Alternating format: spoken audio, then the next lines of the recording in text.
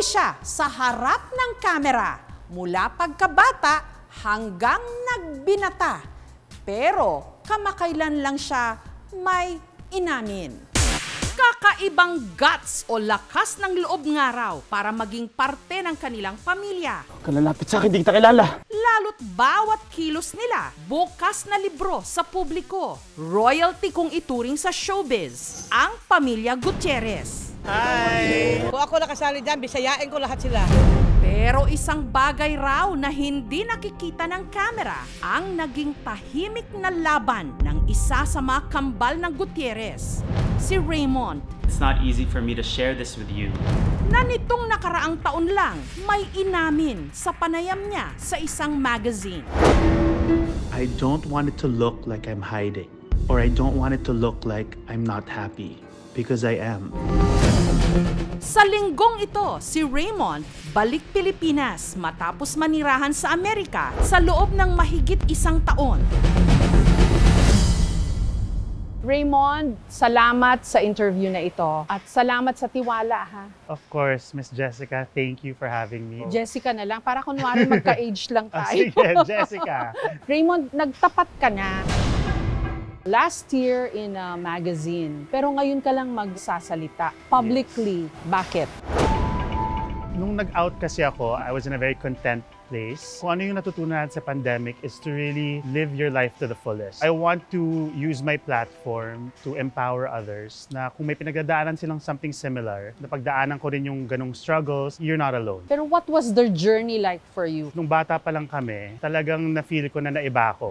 Iba yung mga hilig ko kay Chard, iba yung mga gusto kong gawin, and iba yung barkada namin, iba yung personality namin. It also was not easy na si Chard naging parang superhero dito sa Pilipinas, naging leading man, naging matinee idol. I really felt like I was different. And it doesn't help na magkakambal kayo, di ba? Yes. Ako si Mambo. Ako naman si Jumbo. Mambo? Teka, paano kayo nakapasok dito?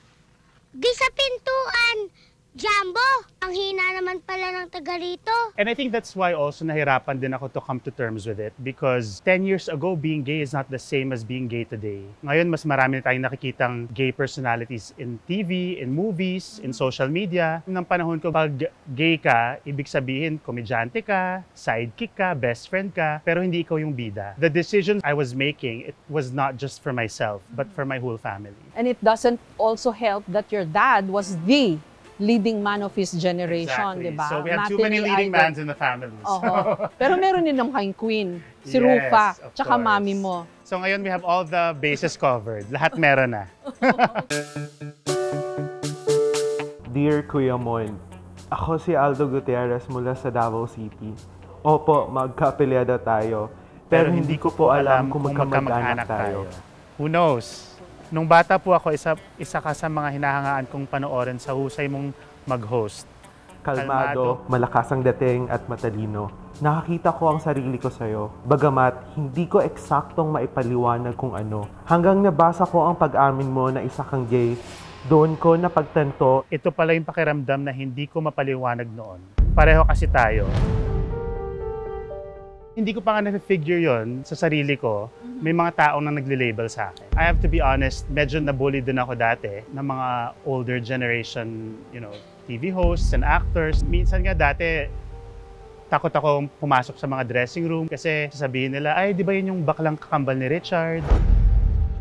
I think the industry also makes it difficult for celebrities to come out. Naghirap ka because of this. I turned to alcohol and partying and being self-destructive kasi hindi ko alam how to come to terms with it. Nung time na I didn't know that it was depression.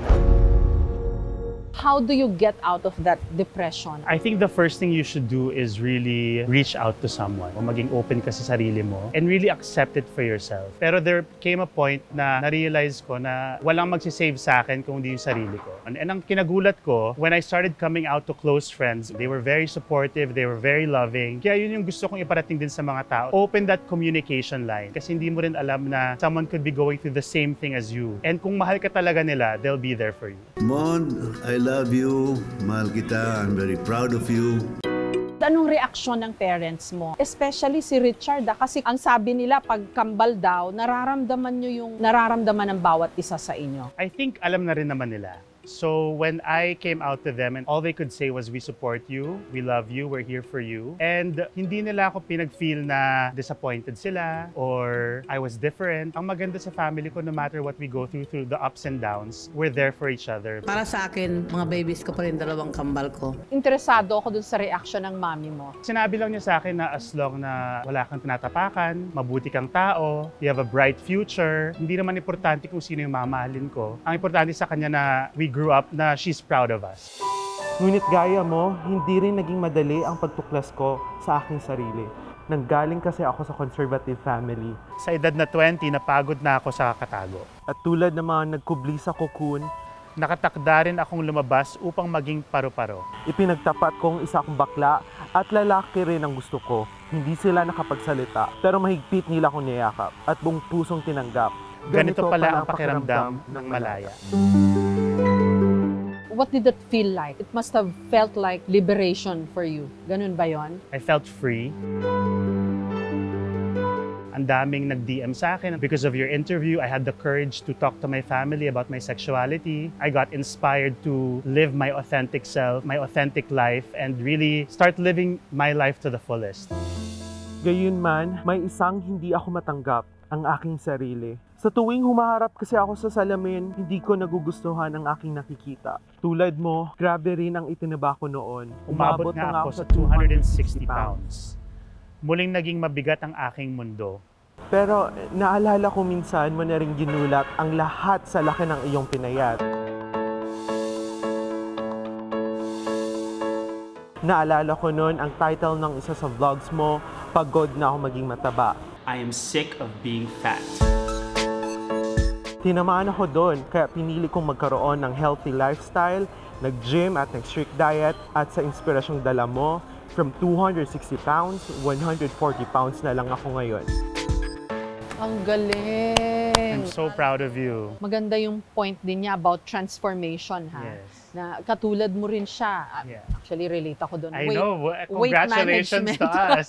How much did you lose, Raymond? Nung time na I was really going through my fitness journey, I lost 70 pounds. Kasi nung time na tumaba ako, sabi ko, ay, okay na ako ganito. Pwede ako yung matabang brother, ako na yung matabang host, okay na ako dyan. It came to a point na naapektuhan na yung health ko. I would walk upstairs, tapos hinihingal na ako. My family and friends would go to the beach. Ako nagtatago sa room. So parang hindi ko rin gusto yung ganong klaseng buhay. Something switched on sa brain ko na ito na yon. It's 8 a.m. on a Sunday, and we are about to work out. You know, lahat na try ko na. Boxing, yung cycling, uh, running, lifting weights. When I accepted myself, it got better. Yung career ko, mas lalong naging okay because I started loving myself. And I think it should start there. Nako, parang kailangan tanungin kita. Are you in a relationship right now? Ang iba pang pag-amin at revelasyon ni Raymond Gutierrez sa aming pagbabalik. Pwedeng sabihin kung sino. Can't even talk right now. Kamusta naman kaya ngayon ang puso ni Raymond? Parang kailangan tanungin kita.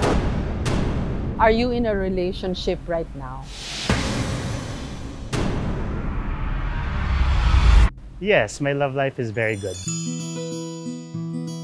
Pwedeng sabihin kung sino.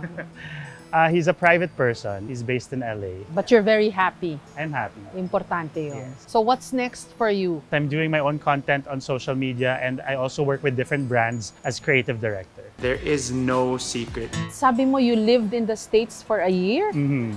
Anong pagkakaiba nung doon na reaction to who you are and dito? sa States, mas forward sila sa LGBTQ issues. Mas free and mas liberated sila. I think here, conservative pa rin ang mga Pinoy kahit papano. But I think now, with social media, mas nagiging open-minded na rin ang mga Pinoy. And I'm very proud to be a part of that movement.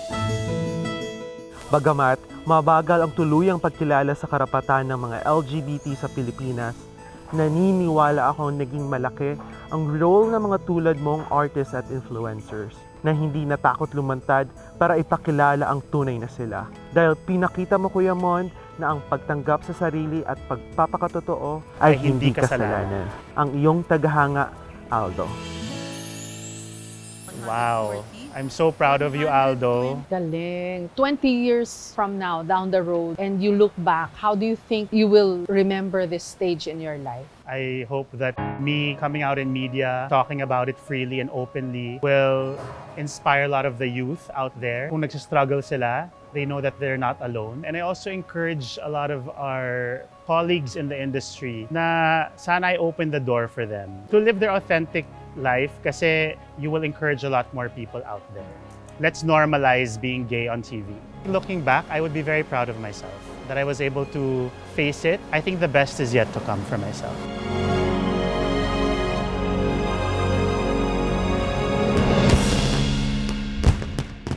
Thank you so much mga kapuso. Kung nagustuhan niyo po ang videong ito, subscribe na sa GMA Public Affairs YouTube channel. Don't forget to hit the bell button for our latest updates.